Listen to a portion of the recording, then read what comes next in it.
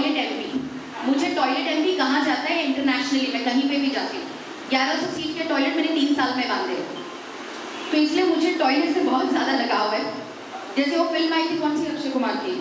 I know it's other production house toilet Ek Prem Katha कभी हम सोच सकते हैं कभी टॉयलेट एक प्रेम कथा जैसे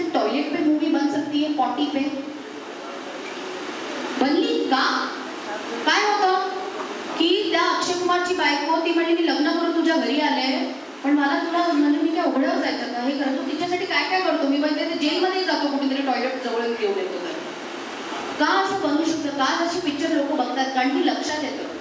जेव्हा आदरणीय पंतप्रधान म्हणले होते स्वच्छालय देवाने जेव्हा म्हटले होते ते तेव्हा लोकांना कळलं नाही ते काय म्हणले आज पहिली बार हमारे विचारों को हमारे प्रधानमंत्री ने झंझोड़ दिया है कि हाँ स्वच्छता जरूरी है।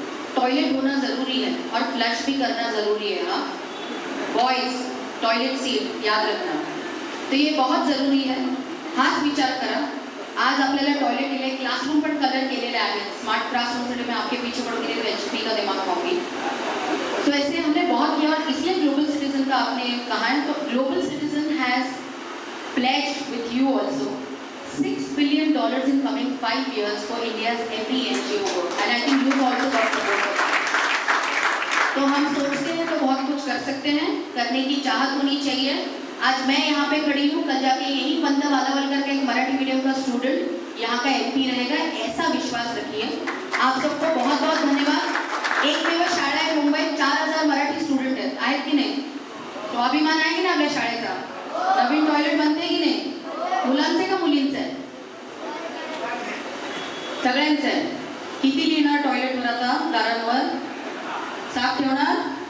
नक्की. तुम्हा सगळ्यांना खूप खूप शुभेच्छा पोरांनो. गांधीजी कधीतरी होते केव्हा तरी आपण बघतो. पण ते आपल्या रोजच्या आचरणात असावे. त्यांनी आपल्यासाठी एवढं जबरदस्त विश्व समोर ठेवलंय. हा स्वतंत्र भारत आपल्यासमोर ठेवलाय. त्याचा मान ठेवा सम्मान ठेवा. एवढंच सांगते. आणि मला ही जबाबदारी दिली. मी फक्त माध्यम आहे, पण मला माध्यम बनवलं, त्यासाठी युवा फाउंडेशनला, या अनस्टॉपेबलला खूप खूप धन्यवाद. युवा अनस्टॉपेबल मीन्स पहली बार मैं कहती हूँ, युवा होता है तो उसमें जोश होता है, लेकिन होश नहीं होता है. पहली बार मैं जोश और होश वाली युवा अनस्टॉपेबल देख रही हूँ. आप रुकिए मत, थकिए मत अनस्टॉपेबल ही रहिए. बहुत बहुत धन्यवाद.